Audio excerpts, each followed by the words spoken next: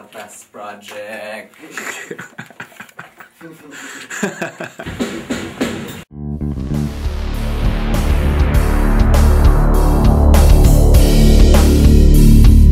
May nang aalok, nag-uudyok sa kapaligiran.